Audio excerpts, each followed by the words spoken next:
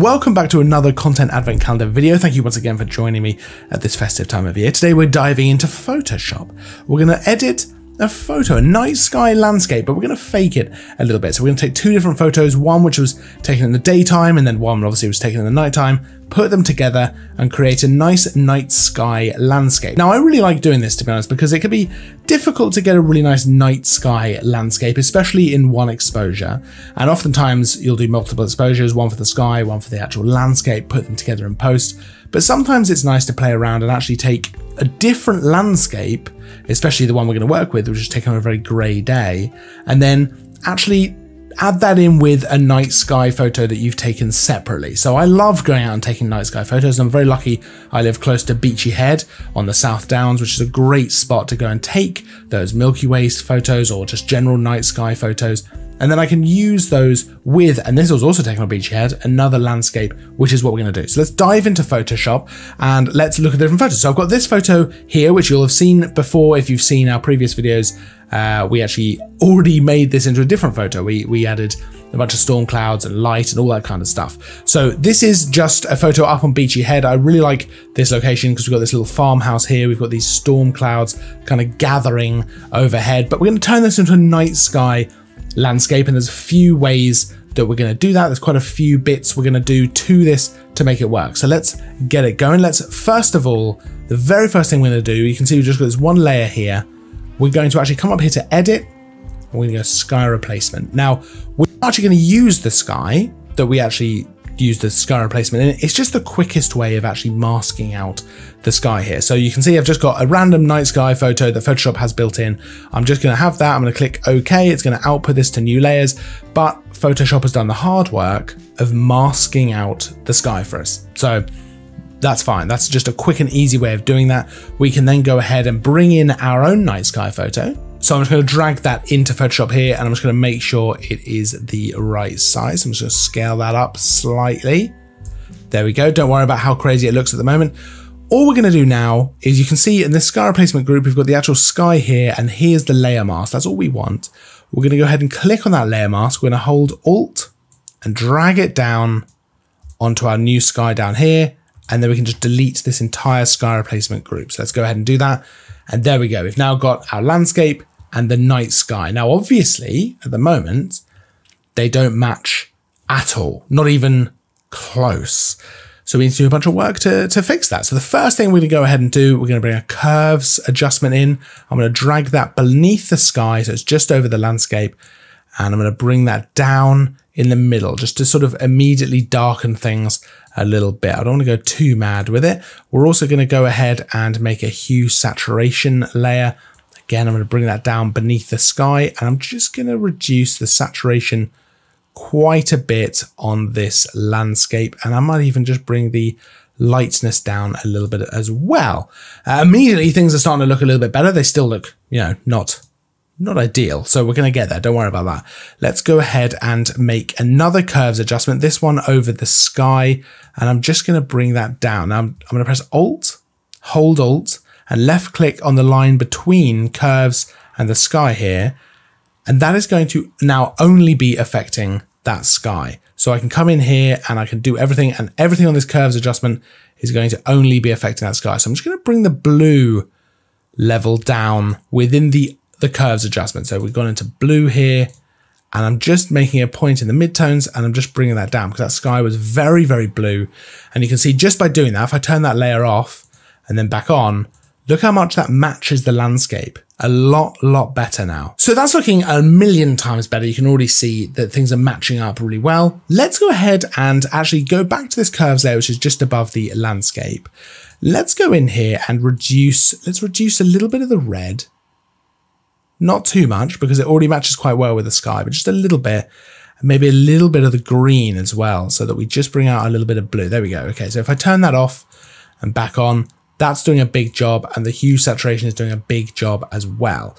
The next thing I want to do is marry the two parts of this photo together by color grading them in the same way. And the easiest way to do that is come down here, another adjustment layer. We're going to go color lookup. Now we're going to go ahead and click load 3D LUT. These are essentially, they're lookup tables and they're going to affect the colors, the contrast, things like that within the photo. But by doing this across the entire photo, so the sky and the landscape, affecting the colors, the contrast, things like that, we're going to kind of marry the two elements together a little bit better because they're going to have an overall look applied to both of them so they'll match really well. So there's a few different ones we could do. We could go ahead and click on drop blues. I actually quite like drop blues for trying to do this kind of effect because look how much they now look like they might be part of the same thing. We can then bring the opacity down of this to something like 50%.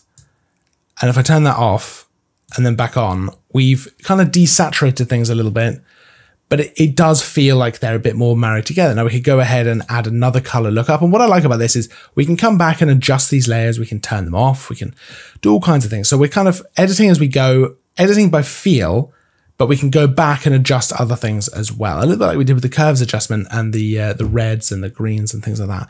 Now the next 3D LUT I'm going to apply here, I think we should go ahead and try something like night from day. Now, Obviously at 100%, this is way too strong.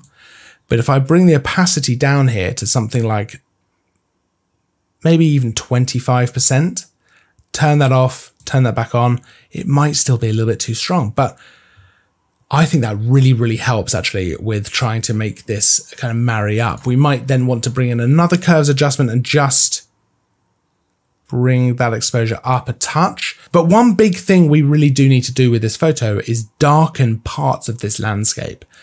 And that's because it's too visible. It's too sharp and bright and stuff like that. And even if you did a really long exposure, I suppose maybe it would it would look a bit like this, but we just want to probably br bring that down a little bit, darken a little bit. So what we can do, we can do another curves adjustment. And this time, instead of adding a new point and dragging that around, we're actually going to bring this black point down here to the right. Now, don't worry that the photo looks a bit full on right now. We're now going to take this layer mask, the white layer mask on this adjustment, and we're going to press Control I. This can turn it completely black. Now, of course, with layer mask, anything white is visible on the photo, anything black is not. So now nothing is visible in the photo from this curves layer. What we could do is bring this brush tool with a white paint. We can paint this on. Now I'm going to use a low flow of about, let's go for 20%. 19% is fine. Do you know what? 20% is even better though. So let's go ahead and just, just sort of paint this on, not too uh, aggressively. I might even just spill out onto that sky a little bit as well. I want to darken that horizon a touch. So here we go. Now, by using a lower flow, we are able to build this up a little bit more than if we were using just 100%. 100% flow would mean we should be painting this on at 100%. But using a 20% flow means I can go back over the same area and build it up. So I like using a lower flow. Now, of course, I think here we may have gone a little bit too far with it. So I might just bring the opacity of the overall curves layer down to something like 70%. But let's turn that off and back on. And look how much we've darkened parts of this photo. Now, I like the idea of darkening this sky just a little bit at the bottom because I think it marries the whole kind of thing together. I think it doesn't look quite as aggressively different with that horizon. I've just brought the opacity down a little bit again. 55% I think works pretty well. Let's look at the before and after in total. So this is where we started. This was the landscape as it came out from Lightroom. So obviously I've done a bit of an edit on it. And then this is where we're at now. Now, I've got a bit of a brighter area around this farmhouse just because that's how I think I edited the photo. I put a mask over it and I just brightened that area a little bit. I don't think that's the end of the world in this photo. You know, realistically, in terms of how the light would actually fall, it would not look like that. It would be uniformly dark across this landscape.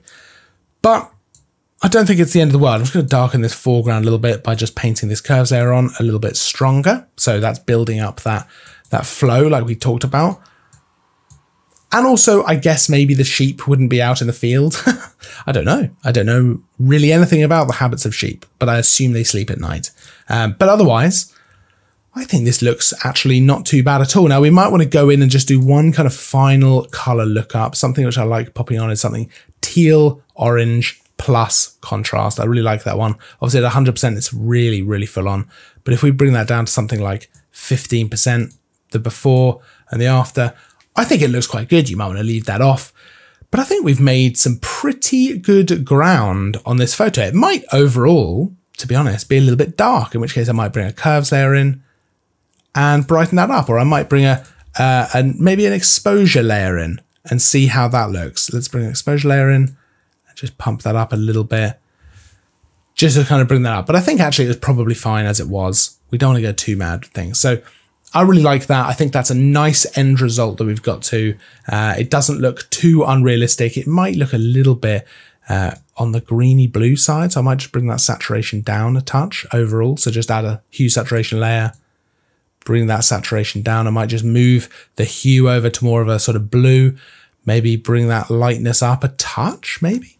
There we go. I'm pretty, I'm pretty happy with how that's come out. Again, let's finally look at the before and the after. Now, I would never claim that this was a photo that I took in camera straight away and this is the result.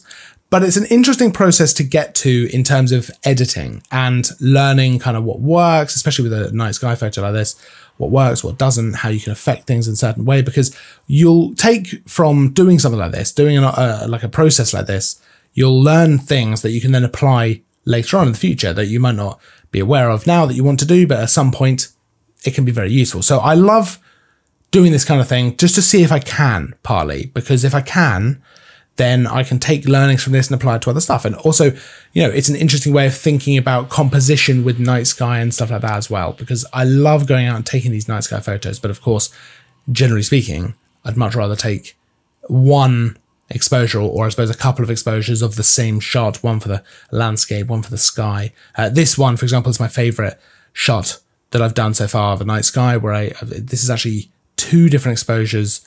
You've got the sky, and then you've got the foreground with the with the two people sat there with the torches, which I really really like. Let me know in the comments though. Is this something you're interested in? Do you enjoy doing this kind of thing, or is this a complete turn off? Not a fan.